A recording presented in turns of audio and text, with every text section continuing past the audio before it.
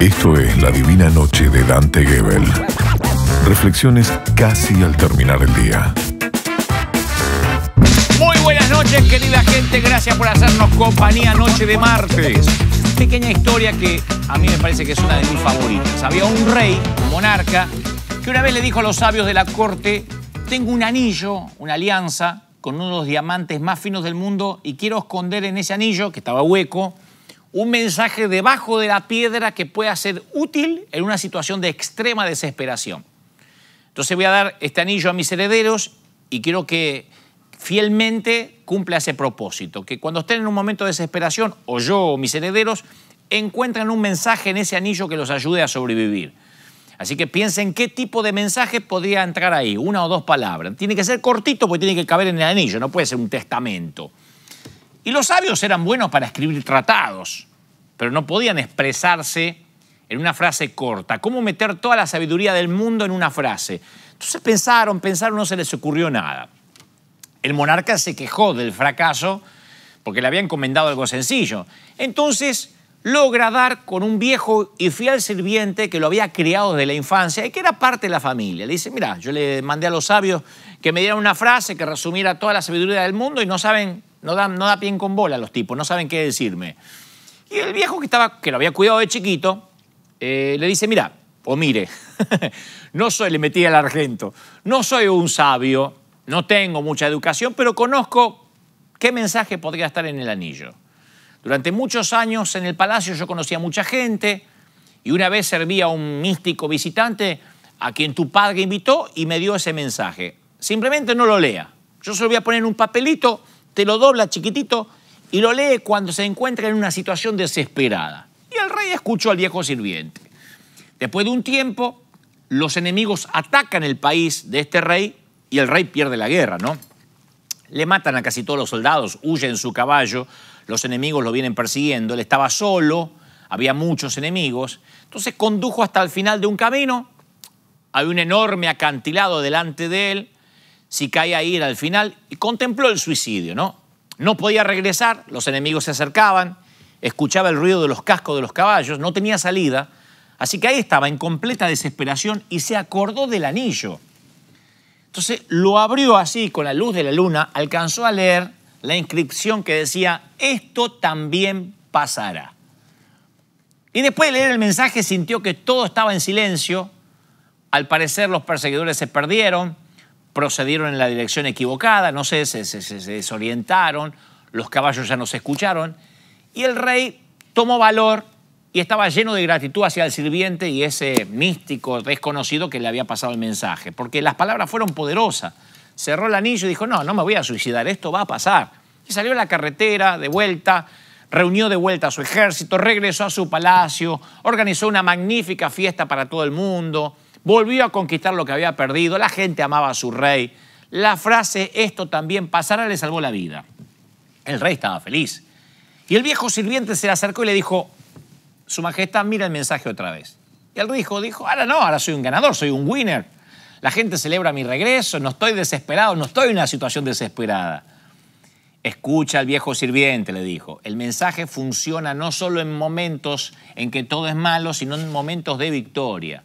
El rey abrió el anillo y leyó, esto también pasará. Y sintió otra vez una paz que vino sobre él. Aunque estaba en medio de una ruidosa multitud, sintió silencio. Se le disolvió el orgullo porque entendió el mensaje. Era un hombre sabio. Y luego el viejo le dijo, recuerda todo lo que pasó, nada y ningún sentimiento es permanente.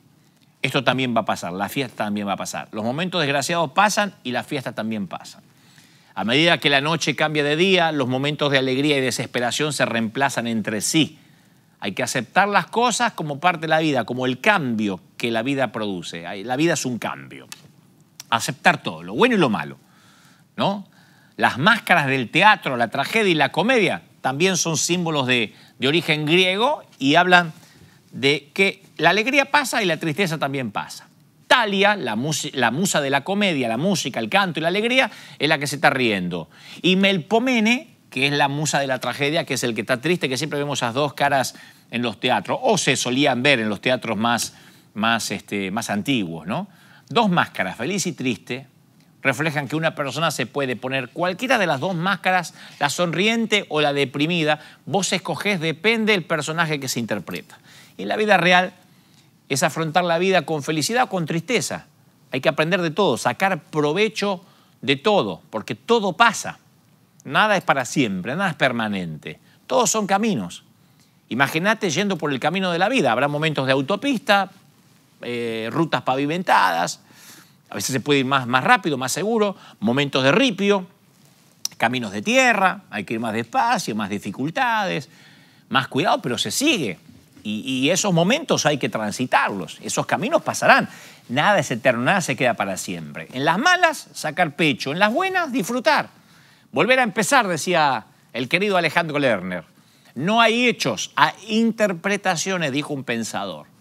No hay hechos, hay, hay interpretación, o sea, la manera que uno interpreta lo que está pasando.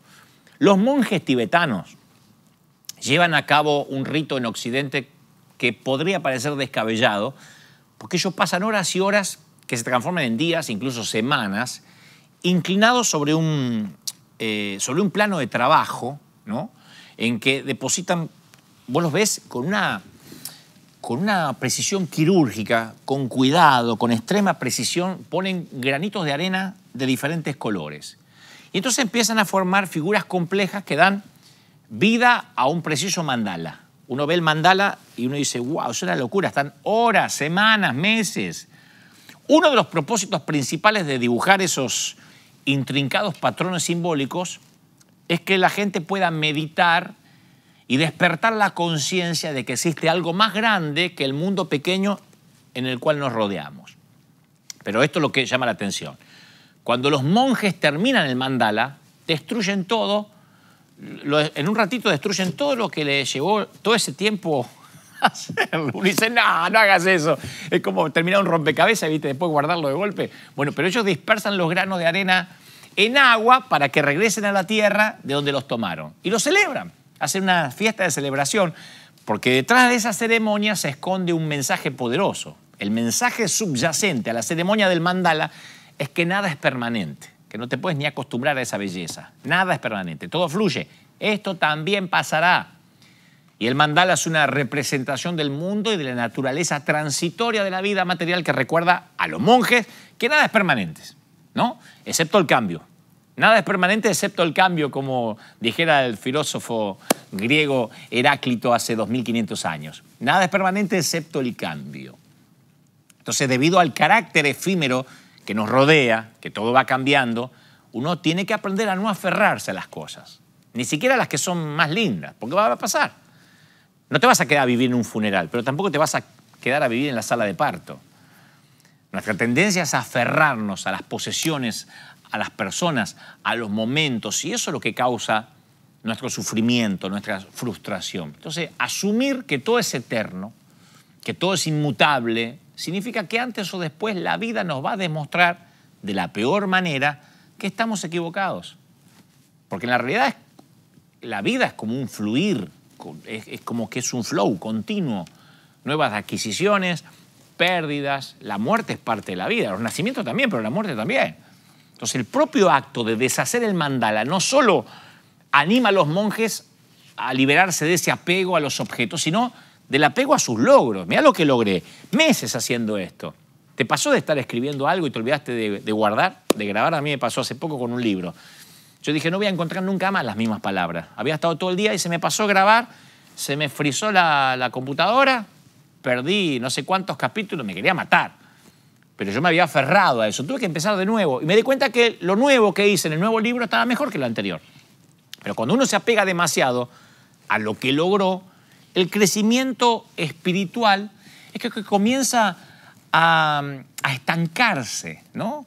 Empieza a aferrarse, a anclarse más con el pasado, con ese yo viejo que nos impide aprovechar lo que nos depara el futuro. Si tenemos las manos llenas de pasado, no podemos abrazar el futuro. Y hay un montón de gente que tiene las manos llenas de pasado. Por eso necesitamos, creo que, aprender a disfrutar el camino, soltar lo que hemos hecho, aún lo que hemos logrado para bien, para abrazar nuevos proyectos, para que nos permitan seguir aprendiendo, para seguir creciendo, para que ese yo, para que esa persona que Dios quiere que seamos siga evolucionando. En la vida todo viene y va. Lo que hoy parece perfecto, mañana podría ser defectuoso. Y a la inversa. no aceptarlo implica estar en una guerra permanente con la realidad, como si eligiéramos vivir en un mundo ilusorio que, refleja cómo nos gustaría que fueran las cosas, pero que no son. Entonces, la vida, ¿qué se trata la vida, entre otras cosas? De no quedarse atrapado en un momento de la vida, en una foto, porque era perfecta, no podemos vivir en una foto. Yo a veces veo una foto mía en blanco y negro de toda la familia y me quiero meter en la foto y volver a estar ahí, pero no podemos.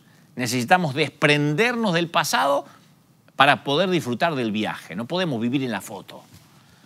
No hay, no, no hay que esperar la ola perfecta, sino que hay que aprender a surfear con lo que la vida nos depara. Un día los árboles se llenan de flores y otro día estamos en otoño. El día inicia y acaba y a, lo mejor está nublado, a lo mejor hace frío, a lo mejor está soleado, nada es igual todo el tiempo, nada es concreto. Y así es la mente. Hoy está feliz y mañana no está feliz. Todo lo que experimentamos con nuestro sentido es impermanente. Cuando creemos que las cosas o las personas que nos rodean son permanentes, son, son concretos, Ahí nos apegamos y sufrimos. Mi vieja decía, ni la permanente es permanente. Cuando se iba a hacer el peinado, ¿te acuerdas la permanente? decía, ni la permanente es permanente. Ella pensaba que se le iba a hacer y iba a quedar una maceta para toda la vida. Y no, le duraba lo que duraba la fiesta y se la tenía que... ¿Para qué, ¿Para qué le llaman permanente? Dice, si te dura hasta que te vas a acostar. Bueno, nada es permanente, ni la permanente es permanente. La persona que realmente comprende eso se libera del sufrimiento, del apego, de la muerte. A eso le llaman tener una mente clara. Ahora, es normal que sintamos miedo. Las personas no se quieren enfermar, no se quieren envejecer, no queremos envejecer, no queremos morir.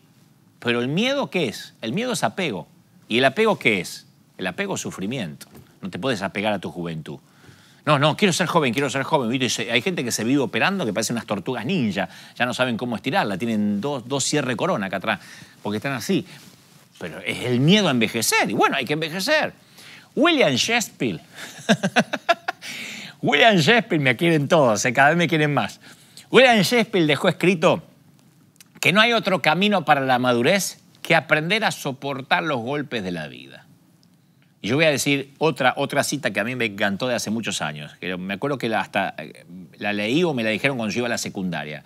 Gertrude von Lefort, una famosa escritora alemana, yo iba a un colegio alemán, Werner von Siemens, ahí estudié, entonces me daban muchas citas de, escritores alemanes, y esta, y esta autora alemana decía, hay una dicha clara y otra oscura, pero el humano, el humano que es incapaz de saborear la oscura, tampoco es capaz de saborear la clara. O sea, el que no aprende a vivir o a pasar los momentos tristes no puede tampoco, no tiene capacidad para atravesar los momentos felices, no lo disfruta. O como decía Quevedo, el que quiere de esta vida todas las cosas a su gusto, tendrá muchos disgustos. O sea, es verdad que a veces hay problemas y problemas serios y se hace todo cuesta arriba y a veces no dan ganas de hacer nada, o que siempre sentimos que viene la mala, siempre estamos al borde del acantilado, pero como decía Julio Grondona, ¿Te acuerdas que Julio Grondona tenía, no decía él, tenía un anillo que decía todo pasa?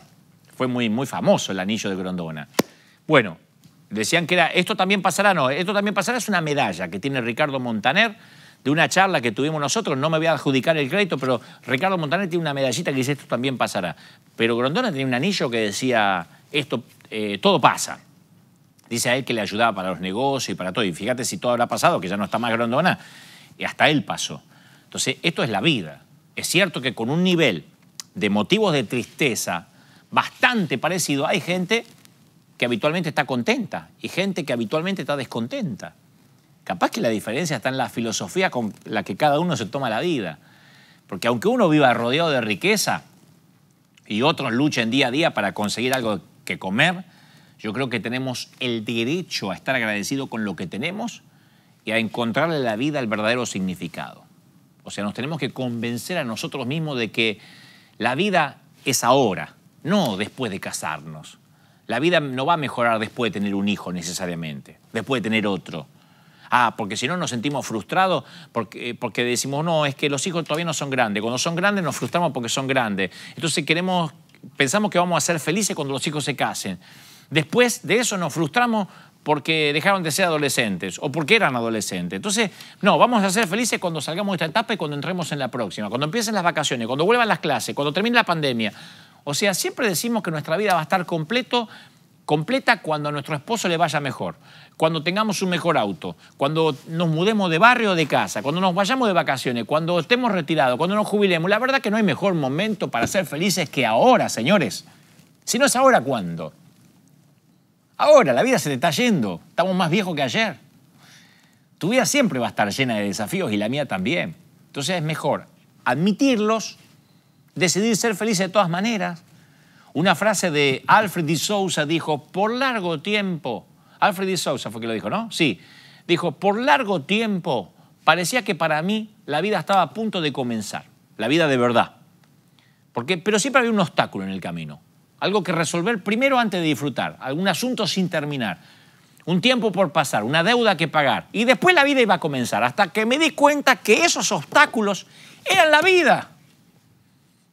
Esa perspectiva me ha ayudado a ver que no hay un camino a la felicidad. La felicidad es el camino. La felicidad, señores, es el camino.